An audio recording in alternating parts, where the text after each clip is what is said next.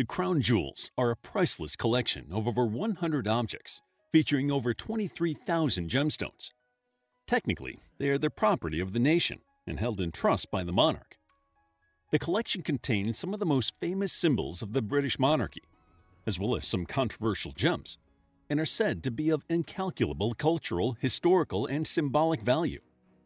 Join us as we count down the five most famous crown jewels of England.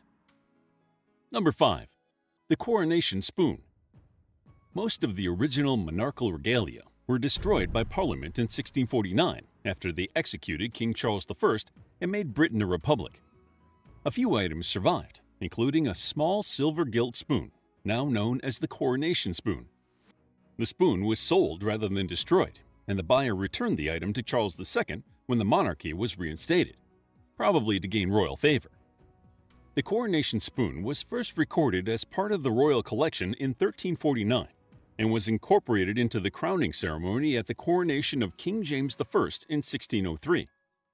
It is believed to be the only piece of royal gildsmith's work that dates from the 12th century and is thought to have first belonged to Henry II or Richard I. While the spoon's intended use is somewhat of a mystery, it was clearly made to be symbolic rather than practical it was perhaps first used to mix water and wine in a chalice. However, since the coronation of James I, the spoon has been used to anoint the new monarch with holy oil. The delicate and detailed spoon was sold in 1649 for the price of 16 shillings, around 9 pence in today's money, or 11 cents in US dollars. Suffice it to say, it's worth considerably more now. Number 4. The Koh-i-Noor the Koh-i-Noor diamond is probably the most controversial gemstone in the crown jewel collection. The diamond originated in India, which was the only source for diamonds before 1725, and the legend is that it was found by locals amongst river sand. It is first mentioned in recorded history in 1628 when the Mughal ruler of India, Shah Jahan, commissioned a throne bedecked in gemstones. The throne took seven years to make, and at the top, forming the head of a gemstone peacock, was the Koh-i-Noor diamond. The wealth of the Mughal Empire eventually attracted the attention of invaders. In 1739, the Persian ruler Nader Shah invaded Delhi, carting off its treasures on the backs of 12,000 horses, 4,000 camels, and 700 elephants.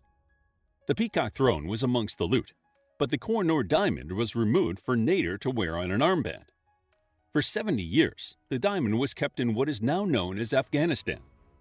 The area was unstable as many factions vied for power, and soon another nation took advantage of the growing power vacuum in India. You guessed it, the British. The British East India Company quickly expanded its control, annexing territory as it grew. But the British were after more than just natural resources.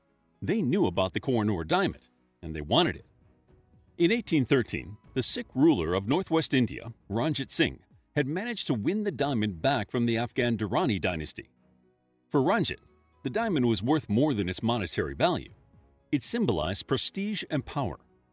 The diamond's symbolism captivated the British. What better way to demonstrate their colonial superiority than by owning the jewel that represented dominion over Indian lands?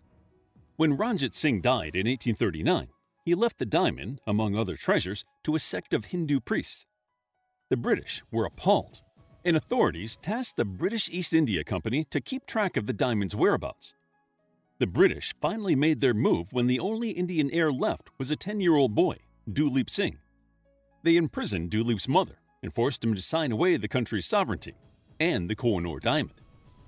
The diamond was then in the possession of Queen Victoria and displayed in the Great Exposition of London in 1851. To add insult to injury, the British public was distinctly unimpressed saying the diamond just looked like a piece of ordinary glass. This underwhelming reaction caused Prince Albert to have the stone recut and polished, reducing it to half its original size. Queen Victoria used it as a brooch before it was placed in the crown of Queen Alexandria's, then Queen Mary's, and finally in the crown of George VI's wife, Queen Elizabeth, mother to Elizabeth II. The last time it was seen was atop the Queen Mother's coffin. Many call for the diamond to be returned to India, while others feel it is a more complex issue, as the gemstone was owned by the ruler of a nation that no longer exists. Number 3. The Sovereign's Orb Orbs have been used to signify earthly power since at least ancient Rome, when it was associated with Jupiter and indicated that the emperor was his representative on Earth. The orb was modified during the rise of Christianity by setting a cross at the top, denoting the Christian world. The sovereign's orb is one of the most well-known examples of a royal orb and was created in 1661 when the British monarchy was reinstated. As the orb represents the world, the band of jewels divides it into three sections, representing the three continents known in the Middle Ages.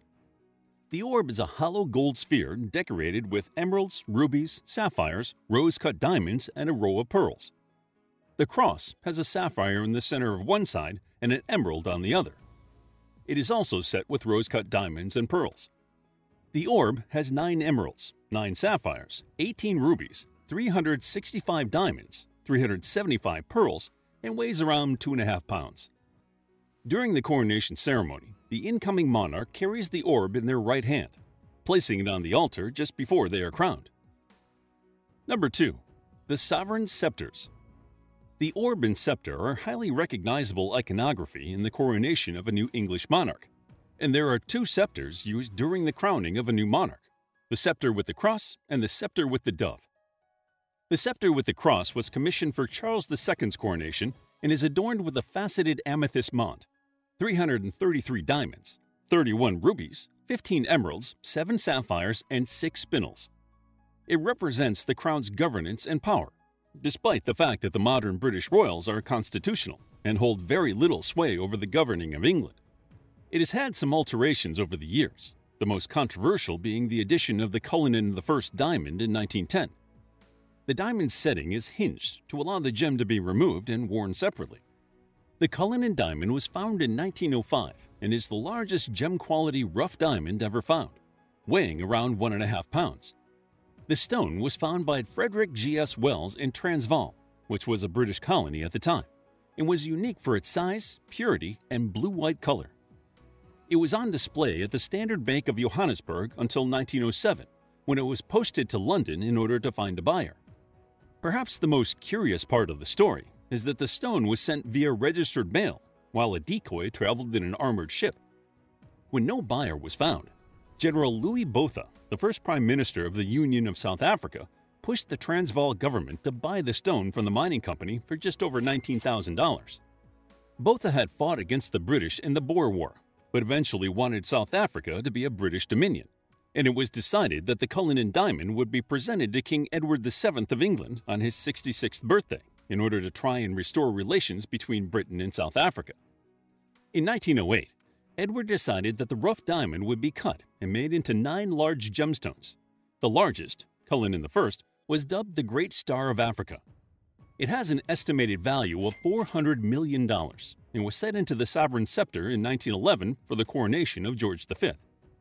The rest of the diamonds remain in the crown jewels as brooches, rings, pendants, and on the front of the imperial state crown. The second scepter is topped with a dove, symbolizing the Holy Ghost, and was traditionally known as the Rod of Equity and Mercy. The religious iconography found throughout the ceremonial crown jewels represents the monarch's divine right to rule. Although the scepter was made in 1661, it did have an older counterpart, and the origin of the Rod of Equity and Mercy dates back to the 1066 coronation of William the Conqueror. Number 1. St. Edward's Crown St. Edward's crown is one of the most recognizable pieces in the crown jewels and is worn by all incoming monarchs at the coronation ceremony. The crown worn by today's monarchs is a replica of the original and was made for Charles II in 1661 crowns hold special significance for royalty, and ornamental headdresses have been worn to denote honor and prowess since the beginning of recorded history. The British coronation crown is named after the last Anglo-Saxon king, Edward the Confessor, who died in 1066, sparking the Norman invasion. Edward was canonized in 1161 by Pope Alexander III, as he was often considered a highly pious man and even referred to as a crowned monk. Before Edward, kings and chiefs of England wore distinctive ceremonial helmets during their coronations.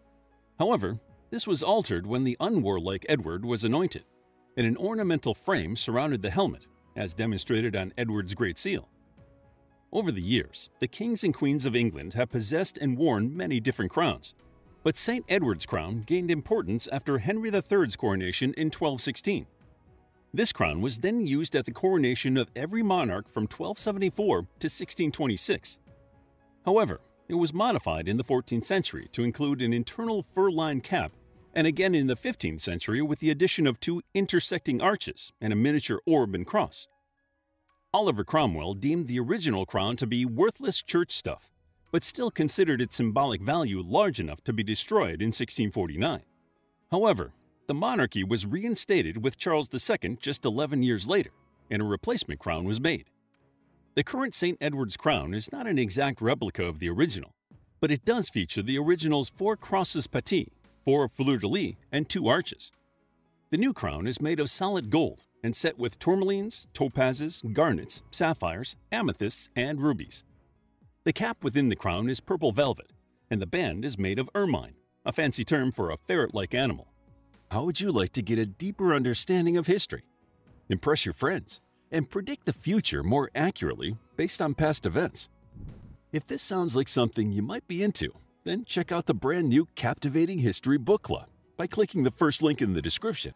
To learn more about British history, check out our book, History of England, a captivating guide to British history, starting from antiquity through the rule of the Anglo-Saxons, Vikings, Normans, and Tudors to the end of World War II. It's available as an ebook, paperback, and audiobook. If you found the video captivating, please hit the like button and subscribe for more videos like this.